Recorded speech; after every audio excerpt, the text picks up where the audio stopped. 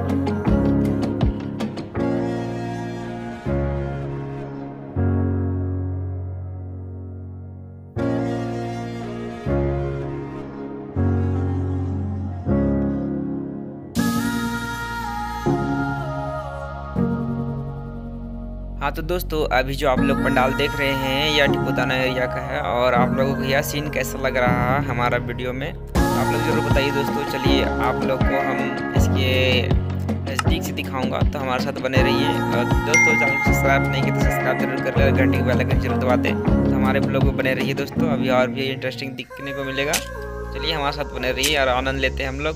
इस दशहरा का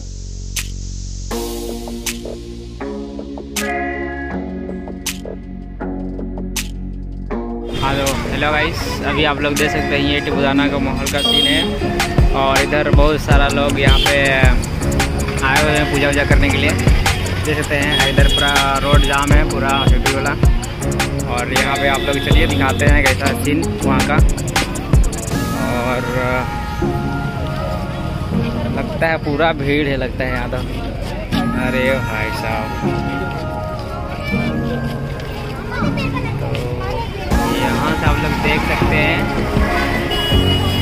हाँ तो हेलो गाइस, अभी जो आप लोग देख रहे हैं, ये ठिकाना का सीन है दोस्तों। जैसे कि अंदर जाना मुश्किल है, पर आप लोग को मैं अंदर जाके दिखाऊँगा वहाँ का सीन। हमारे साथ बने रहिए और हमारे माता का दर्शन आप लोग को हमारे वीडियो के माध्यम ज़रूर कराएँगे। हमारे वीडियो में बने रहिए, पर अभी देखिए थोड़ा भीड़ है तो कुछ देर में हम लोग घुसेंगे। हमारे साथ बने रहिए। और दर्शन आप लोग कराएँगे ज़रूर। देख सकते हैं यहाँ पे पूजा करने के लिए बहुत दूर दूर से आए हुए हैं पूरा महिला लोग और अंदर पूरा भीड़ है।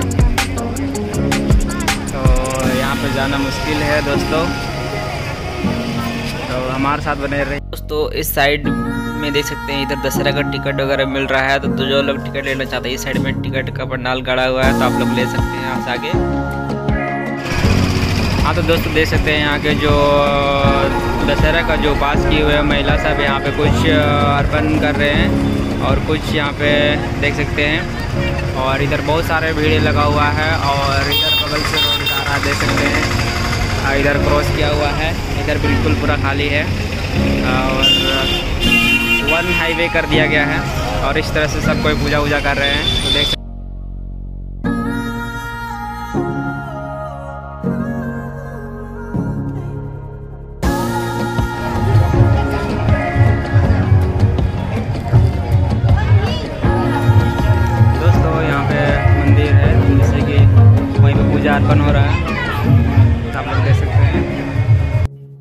दोस्तों, इधर से आप लोगों को पूरा सीन दिख रहा होगा तो चलिए हमारे साथ बने रहिए और आपको सीन दिखाते हैं आगा।